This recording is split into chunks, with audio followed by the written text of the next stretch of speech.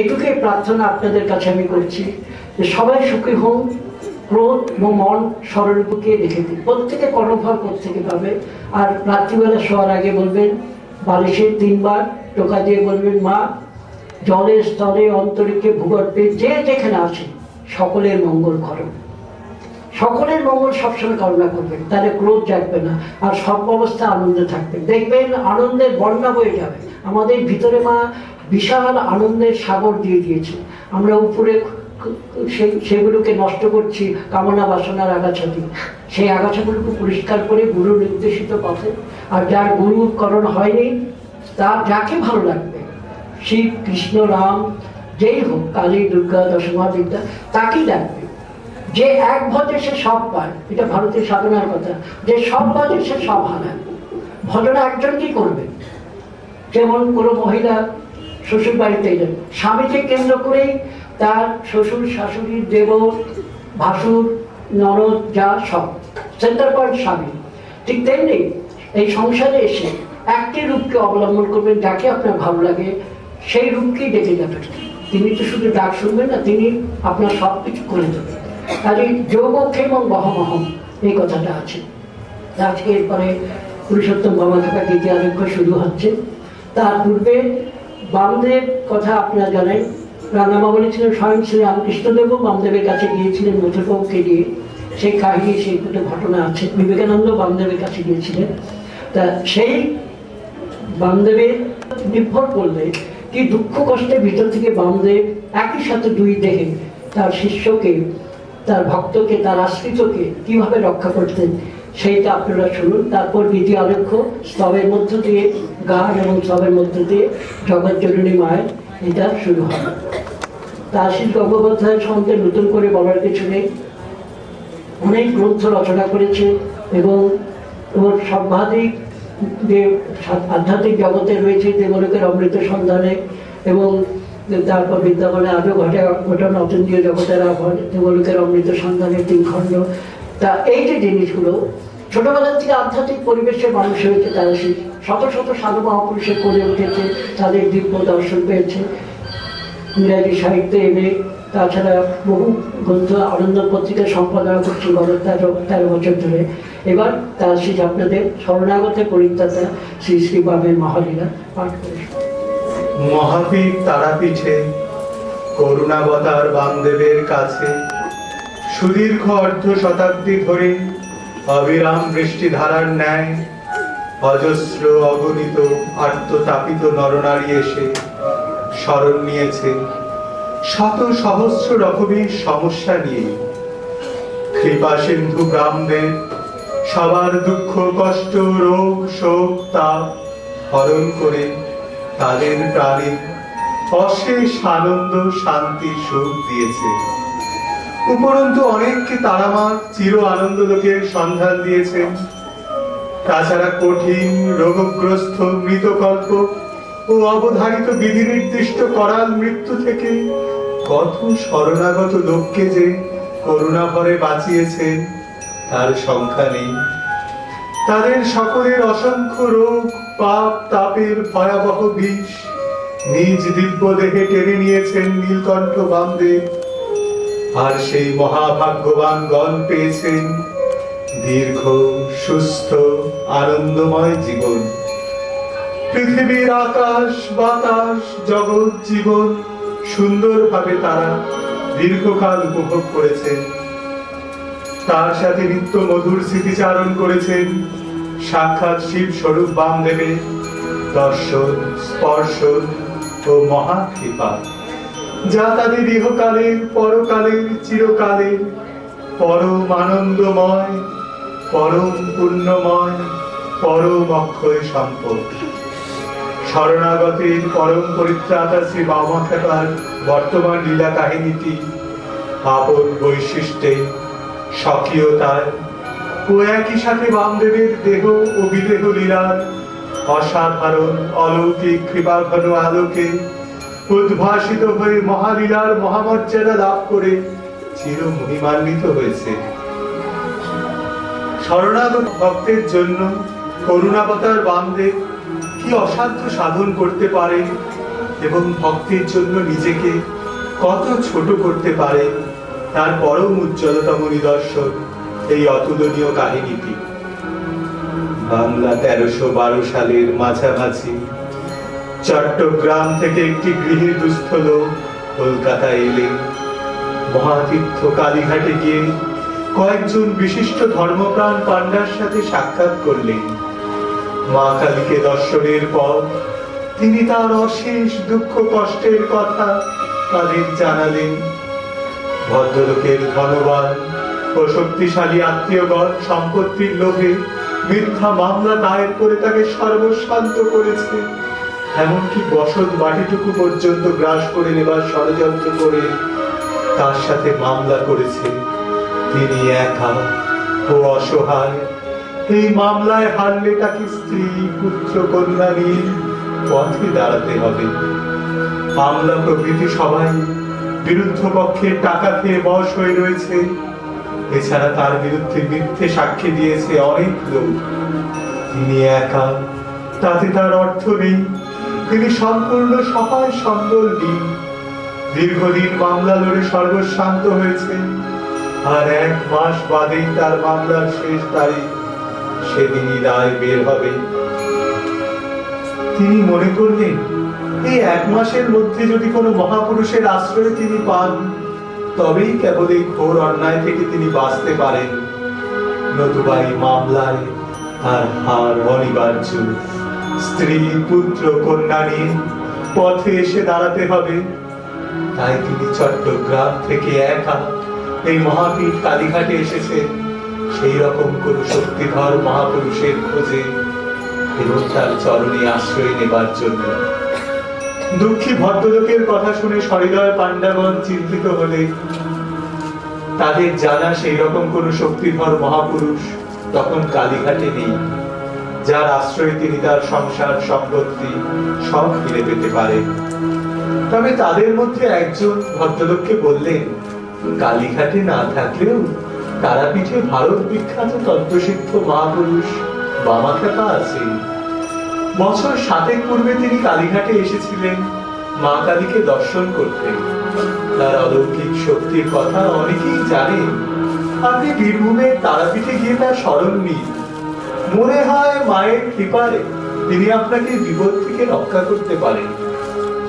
ভদ্রলোক এই কথা শুনে একটু ভরসা পেলেন। পান্ডাদের ধন্যবাদ জানিয়ে তিনি তারাপীঠের উদ্দেশ্যে রওনা হলেন। যথা সময় তারাপীঠে এসে উপস্থিত হলেন। সকাতরে বামদেবের চরণে নিবেদন করলেন সব কথা। কৃপাময় বামদেব সব শুনে শরণাগত এই ভক্তটিকে তার কাছে থাকতে বললেন উপস্থিত বামদেবের শিষ্য ভক্তগণ ভদ্রলোককে শান্ত চিত্তে বামদেবের কাছে থাকতে বললেন ভদ্রলোকের খাওয়া থাকারও ব্যবস্থা হয়ে গেল। দুবেলা তারামায়ের প্রসাদ ও রাত্রে বামদেবের আশ্রমে থাকার ব্যবস্থা হলো। ভদ্রলোক শান্তভাবে বামদেবের আশ্রয়ে রইলেন। দিন কাটতে লাগল। বামদেবের কাছে দিন রাত রোগ, শোক, তাপগ্রস্ত নানা রকমের লোকের ভিড় লেগেই আছে। তাছাড়া সাধু সন্ত ভক্ত দর্শনার্থীগণ আসছেন। বামদেব সবার সমস্যায় সমাধান করছেন।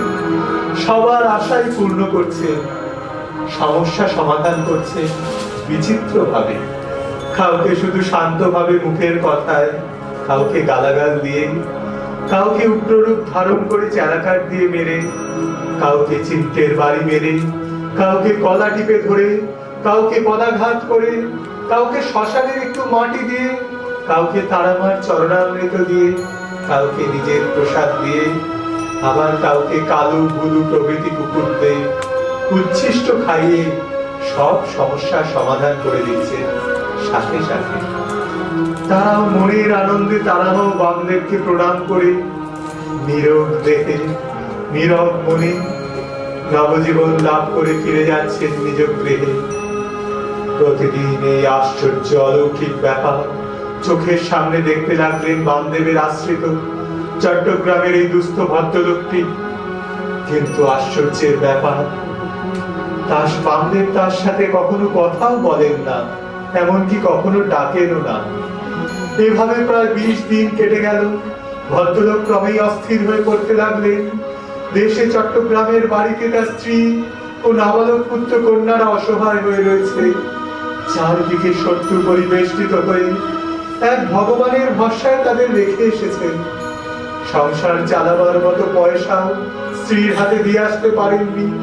কীভাবে তার স্ত্রী রোজ সংসার চালাচ্ছে, তাও তিনি এখন জানেন না। নিজে ও স্ত্রী পুত্র কন্যাকে বাঁচাবার শেষ উপায় হিসেবে তিনি মহাপুরুষের আশ্রয় নেবার জন্যই চট্টগ্রামের বাড়ি থেকে বেরিয়ে এসেছেন। ভদ্রলোকের দুশ্চিন্তা ক্রমেই বাড়তে লাগল। দুবেলা তারামায়ের প্রসাদ খেতে খেতে তার চোখ দিয়ে জল পড়ছে। তিনি তারাপীঠে দুবেলা খাচ্ছেন অথচ তারাপীঠ থেকে প্রায় পাঁচশো মাইল দূরে সুদূর চট্টগ্রামের বাড়িতে তার স্ত্রী, পুত্র, কন্যা হয়তো অনাহারে দিন কাটাচ্ছে। এভাবে আরও দশ দিন কেটে গেল। ভদ্রলোক হিসাব করে দেখলে যে বামদেবের কাছে আসবার পর তার এক মাস পূর্ণ হয়েছে। আগামীকালই মামলার রায় বের হবে। ভদ্রলোকের ধৈর্যের বাদ ভেঙে গেল। দুশ্চিন্তায়, দুর্ভাবনায় ভদ্রলোক পাগলের মতো হয়ে গেলেন। তিনি আর স্থির থাকতে পারলেন না। এই এক মাসের মধ্যে বামদেব একবারও তাকে ডাকেননি। একবারও তার এই ভীষণ সমস্যা নিয়ে তার সাথে কোনো কথাও বলেননি। সেদিন সন্ধ্যা নেমে এলো তারাপীঠের বুকে। বামদেব শিষ্য ভক্তদের সাথে তার আশ্রমে বসে কথা বলছে। ভদ্রলোক আর থাকতে না পেরে সবার সামনে মরিয়া হয়ে বামদেবকে খুবই দুঃখে বললেন, বাবা, এতদিন ধরে আপনার কথায় আপনার আশ্রমে রয়েছি। কত লোকের কত কি করলেন, কিন্তু আমার কিছুই করলেন না। এই এক মাসের মধ্যে আমার সাথে ডেকেও একবার কথা বললেন না। আমার কিচ্ছু হলো না। শুধু শুধু এখানে এতদিন পড়ে রইলাম। দেশের বাড়িতে স্ত্রী, পুত্র, কন্যা, বেঁচে আছে কি মরে গেছে, তাও আমি জানি না। কাল আমার মামলার শেষ তারিখ। বৃথা আমি এতদিন আপনার কাছে রইলাম। আমি কালই চট্টগ্রামে চলে যাব। স্ত্রী, পুত্র, কন্যা যদি বেঁচে থাকে, তবে তাদের নিয়ে পথে পথে ভিক্ষা করব। না হলে মরব। রাগে দুঃখে অভিমানে ভদ্রলোক থর থর করে কাঁদছেন ও কাঁদছেন। বামদেব শান্তভাবে চুপ করে সব শুনলেন উপস্থিত শিষ্য ভক্তগণ স্তম্ভিত হয়ে গেলেন ভদ্রলোকের কথা শুনে। বামদেব শান্ত স্বরে শুধু বললেন, বাবা, তোমার মামলার তারিখ পার হয়ে গেছে। তাই শুনে ভদ্রলোক উত্তেজিত হয়ে বামদেবকে বললেন, বাবা এজন্যই লোকে আপনাকে খ্যাপা বলে। আমার মামলার তারিখ আমি জানি না। আমি কাল সকালেই তারাপীঠ থেকে দেশে চলে যাব। বামদেব আর কিছু বললেন না। বামদেবের শিষ্য ভক্তগণ ভদ্রলোককে শান্ত করার চেষ্টা করলেন। বললেন, বাবা বাকসিদ্ধ মহাপুরুষ। বাবা যখন বলেছেন মামলার তারিখ পার হয়ে গেছে, তখন নিশ্চয়ই তা হয়েছে। বাবার কথা একটু অন্যথা হয় না। যা হয়েছে আপনার ভালোর জন্যই হয়েছে। এটা বিশ্বাস করে শান্ত হন। কিন্তু ভদ্রলোক কোনো কথাই গ্রাহ্য করলেন না। অশান্ত হয়ে রইলেন। একটু রাত হতেই বামদেব হঠাৎ ভদ্রলোককে বললেন, বাবা, আমার পায়খানা পেয়েছে। আমায় একটু হাত ধরে নিয়ে চলো তো। ভদ্রলোক অপ্রসন্ন চিত্তে বামদেবের হাত ধরে বামদেবকে অন্ধকার শ্মশানের মধ্য দিয়ে দ্বারকা নদীর ধারে আস্তে আস্তে নিয়ে চললেন। দ্বারকা নদীর ধারে এসে বামদেব হঠাৎ ভদ্রলোকের হাত ধরে বললেন, বাবা, তুমি বাড়ি যেতে চেয়েছিলে না? ওই দেখো বাবা, তোমার বাড়ি চলে যাও। বলেই বামদেব সহসা অদৃশ্য হয়ে গেলেন। চোখের পলকে এক অলৌকিক ঘটনা ঘটল। মুহূর্তের মধ্যে ভদ্রলোক মহা বিস্ময়ের সাথে দেখলেন চট্টগ্রামের তার বাড়ির অন্দর মহলে তার শোবার ঘরের দরজার সামনে দাঁড়িয়ে আছে। এমন সময় তার স্ত্রী দরজা খুলে তাকে দেখে অবাক হয়ে গেলেন তার স্ত্রী আরও অবাক হলেন এজন্য যে তাদের বাড়ির সদর দরজা বন্ধ। অথচ তার স্বামী কি করে বাড়িতে ঢুকলেন? যা মহানন্দে স্বামীকে নিয়ে ঘরে ঢুকলেন ভদ্র মহিলা ভদ্রলোকের ঘোর তখনও কাটেনি। কোথায় পশ্চিমবঙ্গের বীরভূম জেলার তারাপীঠ? আর কোথায় পূর্ববঙ্গের এই চট্টগ্রাম? কয়েক মুহূর্তের মধ্যে দীর্ঘ পাঁচশো মাইল। কি করে তিনি এলেন? এদিকে তার স্ত্রী মনের আনন্দে তাকে বললেন, জানো, আমরা মামলায় জিতে গেছি। আমরা আমাদের সমস্ত সম্পত্তি ফিরে পেয়েছি। আর আমাদের কোনো দুঃখ রইল না। ভদ্রলোক কথা শুনে চমকে উঠলেন। স্ত্রীকে বললেন, কি বলছো? মামলার রায় তো আগামীকাল বের হবার কথা। আগে বের হবে কি করে? ভদ্র মহিলা স্বামীকে হেসে বললেন, তা ঠিক। কিন্তু তার আগে এক আশ্চর্য ব্যাপার ঘটেছে। কয়েকদিন আগে হাকিম সাহেব হঠাৎ আমাদের মামলা তলব করলেন। সব কাগজপত্র নিয়ে পরীক্ষা করে ওরা যে মিথ্যা মামলা সাজিয়েছে, তা করতে পারলেন। সাথে সাথে মিথ্যে মামলার জন্য ওদের শাস্তি দিয়ে আমাদের সব সম্পত্তি বাড়িঘর ফিরিয়ে দিলেন আমরা মামলায় জিতে গেলাম। ভদ্রলোক একটার পর একটা বিহবল হয়ে তার শোবার খাটে বসে পড়লেন। কয়েক পলকে অলৌকিক ভাবে তারাপীঠ থেকে চট্টগ্রামে তার বাড়িতে চলে আসা নির্দিষ্ট সময়ের পূর্বেই মামলা হওয়া এবং অসম্ভব ভাবে জিতে গিয়ে সব সম্পত্তি ফিরে পাওয়া এবং তার জ্ঞাতি ভাইদের মিথ্যে মামলার জন্য শাস্তি হওয়া। প্রভৃতি মহাবিস্ময়কর ও আনন্দদায়ক ঘটনায় ভদ্রলোক গৃহবল হয়ে গেলেন। কিন্তু চরম বিস্ময় তখন ভদ্রলোকের জন্য অপেক্ষা করছিল। তার স্ত্রী তাকে হাসি মুখে পাখা দিয়ে হাওয়া করতে করতে বললেন, আর আমাদের কোনো দুঃখ নেই। কত শান্তি বলো তো? তার উপর তুমিও তারাপীঠে চাকরি করছ। ভগবান সত্যি মুখ তুলে চাপিয়েছে ভদ্রলোক প্রচণ্ড বিস্ময় বললেন, আমি তারাপীঠে চাকরি পেয়েছি। তারাপীঠ কোথায় জানো? ভদ্রলোকের স্ত্রী গ্রামীণ জীবনের সহজ সরলতার প্রতীক, তার মধ্যে পড়াশোনাও বেশি জানেন না। তাই হাসি মুখে বললেন তারাপীঠে কাছে পিঠেই কোথাও হবে? তোমার কাছে যে চাকরি করে, সে রোজই আমাকে এসে তোমার খবর দিয়ে যায় শুধু কি তাই? আমার জন্য ও ছেলে মেয়েদের জন্য তুমি যে রোজ চাল, ডাল, তেল, নুন ও অন্যান্য জিনিস পাঠাতে, তা তোমার লোকটি একটি ধামা করে মাথায় বই নিয়ে আসে। তুমি যাবার কয়েকদিন পর থেকেই প্রায় এক মাস ধরে রোজ দিয়ে যাচ্ছে। না হলে তো আমরা না খেয়ে মরে যেতাম।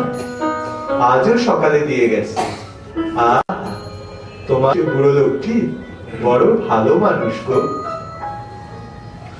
ভদ্রলোক কথা শুনে চরম বিস্ময় প্রায় চিৎকার করে স্ত্রীকে বললেন, বলছো কি, আমার চাকরি করে? কি নাম তার? ভদ্রলোকের চিৎকারে তার ঘুমন্ত পুত্র কন্যা জেগে উঠে বাবাকে দেখে আনন্দে বাবাকে জড়িয়ে ধরল। তার স্ত্রীও চিৎকারে অবাক হয়ে বললেন সে কি গো? তোমার চাকর আর তুমি তাকে চেনো না? সে বুড়ো মানুষটি বলেছে, আমার নাম বামা আমি বাবুর চাকরি করি। রোজই সকালে এসে জিনিসপত্র দিয়ে তোমার কথা আমায় জানিয়ে যায়। আজও সকালে জিনিসপত্র মাথা থেকে নামিয়ে আমায় বলবে মা, বাবুর জন্য চিন্তা করবেন না। বাবু ভালো আছে। খুব শীঘ্রই বাবু আসবে। স্ত্রীর কথা শুনে ভদ্রলোক পাগলের মতো চিৎকার করে বললেন স্ত্রীকে, তুমি জানো না তুমি কি বলছো? তাকে দেখতে কি রকম? ভদ্রলোকের স্ত্রী তাই শুনে সানন্দে বললেন, শ্যামবর্ণ দেখতে মোটা মতন মানুষ, বেশ ভুড়ি আছে। খালি গা, হাঁটু পর্যন্ত একটা ছোট্ট ধুতি পরা। আহ মা বলে যখন ডাক দেয়, তখন প্রাণ জুড়িয়ে যায়। বুড়ো বলে, মা, আমার নাম বামাচরণ। তুমি আমায় শুধু বাবা বলেই দেখো। স্ত্রীর কথা শোনা মাত্র ভদ্রলোকের সব সন্দেহের অবসান হলো। তিনি বুঝতে পারলেন সবকিছু।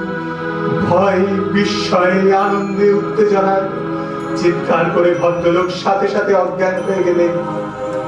অনেক পরে যখন জ্ঞান হলো, তখন স্ত্রীকে কাঁদতে কাঁদতে বললে, সবকিছু। কয়েকদিন পর ভদ্রলোক পাগলের মতো ছুটে এলেন তারাপীঠে। তার আশ্রয়ে বসে আছেন। তার পাশে শিষ্য হরিসত্য চট্টোপাধ্যায় ব্রজ পাঠ